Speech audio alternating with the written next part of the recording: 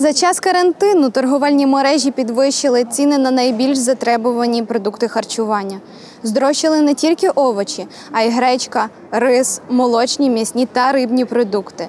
Чим пояснюють підвищення цін продавці та як реагують самі закарпатці, зараз дізнаємось.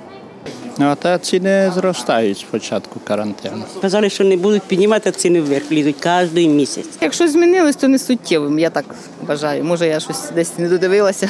А ціни само собою, само собою. Не набагато но виросли.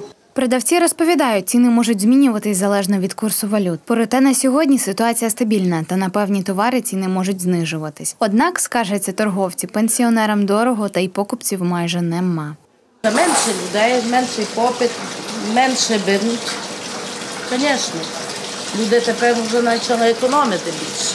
Чесно говоря, ціни падають, нижче стають, не піднімаються у нас. Товар іде досить погано, і зато стараються. От. Уросли більше ціни на харчі, а на цю продукцію нашу не уросли. Думки закарпатців однозначно розділились. Більшість сприймає нестабільність цін як належне, не звертаючи увагу. Проте аж ніяк не кожен може собі дозволити закупити продуктів вдосталь. У нас як були той рік, так і залишилися. На деякий товар навіть знизилися ціни. Коли долар падає, туди в нас і ціни падають. Яка закупка йде? Поки що нормальні ціни. На нашу зарплату ціни нормальні. Правда, мало кого що може купити. Люди беруть одну-дві штучки, три штучки, не вистачає.